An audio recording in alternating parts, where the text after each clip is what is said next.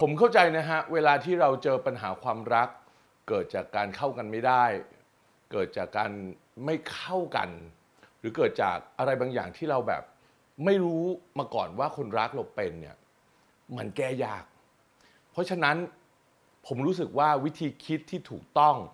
ก่อนที่จะเอาตัวเองไปเจอตรงนั้นเนี่ยสำคัญมาก สวัสดีครับ ผมโคจิ๊บอติการหนุนพักดีนะครับ ผู้ให้คำปรึกษาด้านความสัมพันธ์สำหรับใครที่ต้องการปรึกษากับผมเป็นการส่วนตัว สามารถติดต่อมาทางไลน์นี้เลยนะครับ ซึ่งจะเป็นวิดีโอคอลมาเจอตัวหรือทางโทรศัพท์ก็ได้ เดี๋ยวเรามาดูนะฮะว่าทำไมจะรักใครมันต้องเรื่องมาก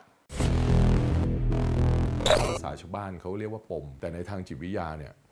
มันเกิด trauma ขึ้นในตัวเรา ซึ่งมันเปลี่ยนเคมีในร่างกายเราตลอดกาลเวลาผ่านไป สมมุติว่าเราได้เจอคนนี้อีกครั้งหนึ่งหรือคนคนที่เราเกลียดตายไป เคมีตัวที่เราเกลียดเขามันยังอาศัยอยู่ในร่างกายเรานะแปลว่าการที่เราโกรธเกลียดหรือมีความรู้สึกด้านลบกับใครบางคนอะมันจะฝังอยู่ในร่างกายเราแม้กระทั่งคนคนนี้จะอยู่หรือไม่อยู่ก็ตาม การที่มาให้มันเกิดแล้ว และเราต้องแก้ไขเพื่อให้อภัยเขา เพื่อให้เคมีตัวนี้มันหายไป ยากง่ายกว่าคือ อย่าเข้าไปเจอใครที่จะต้องทำให้เราเกลียดเขาเลย เพราะฉะนั้นไอการเลือกคนเข้ามาในชีวิตจึงสำคัญมากสำคัญตรงที่ว่าถ้าวันหนึ่งเราต้องเกลียดเขาหรือเขาเกลียดเรา มันจะเป็นพันธะผูกพันด้านลบกันจนเราตาย และชีวิตเราจะไม่มีคุณภาพ เราจะไม่สามารถมองท้องฟ้าที่สดใสแล้วรู้สึก ว้าวชีวิตเราดีจังเลย ไม่ได้มันยาก ราะฉะนั้นถ้าสมมติวันนี้เรายังหาใครไม่เจออยู่ใน process ที่กำลังหาอยู่ แต่เราอยู่คนเดียวอยู่ ถือว่าดีแล้ว แต่อยู่จะเอาใครเข้ามาเหมือนเหมือนอยู่จะเลือกกินอะไรอะอยู่ยังเลือกเลยอะเอ๊ะอาหารนี่แม่งผงชูรสปล่าวะน้ำตาลแค่ไหนวะอันนี้แม่งหมูแม่งดีอยู่ยังเลือกกินเลยอะนี่อยู่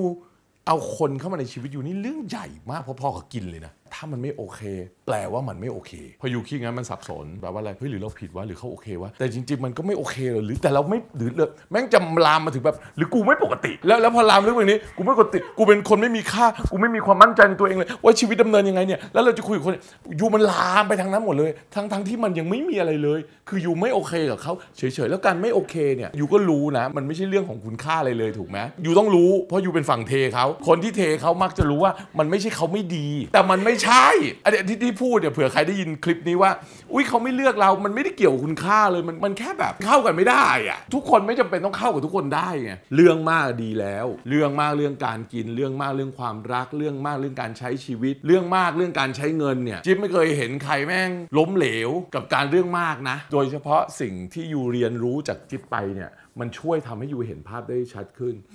คนในอดีตมีฮะจิ๊บมีคนรู้จักจิ๊บคือเรื่องมากเรื่องผู้ชาย แต่เขาเรื่องมากยกตัวอย่างฉันเป็นคนที่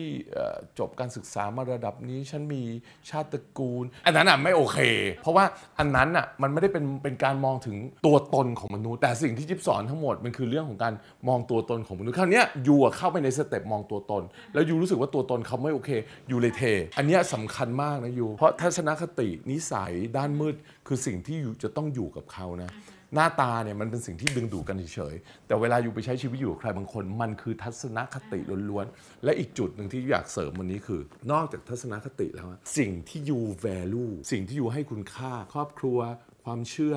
มุมมองอะไรต่างๆ ของชีวิตเนี่ยเขาต้อง value เรื่องคล้ายๆกัน ถ้าไม่จะมีปัญหาเหมือนกันผมก็ยังเชื่ออยู่นะฮะ ในทุกปัญหามีทางแก้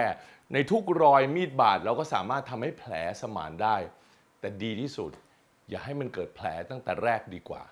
สำหรับใครที่ต้องการจะเรียนรู้วิธีการแก้เกมของความรักที่เป็นอยู่ ไม่ว่าจะเป็นเรื่องปัญหาใหญ่หรือปัญหาเล็กนะฮะผมแนะนำอย่างนี้ ผมมีคอร์สดีๆ หลายคอร์สเลยที่ทำให้ทุกท่านสามารถพัฒนาตัวเอง เรียนรู้เข้าใจว่าความรักเนี่ยมันจะต้องแก้ตรงไหน เราต้องพัฒนาตรงไหน เพียงติดต่อกับทีมโค้ชของผมทางไลน์นี้นะครับ หรือถ้าใครยังไม่พร้อมก็สามารถทิ้งคำถามมาได้ใต้คลิปนี้ ถ้าคำถามของท่านสามารถเป็นประโยชน์ให้ผู้อื่น เดี๋ยวผมจะนำมาทำวิดีโอแบบนี้นะครับ ก็อยากให้ทุกท่านสบายใจ ถึงแม้ปัญหาจะใหญ่แค่ไหน แต่ถ้าเป็นเรื่องผู้ชาย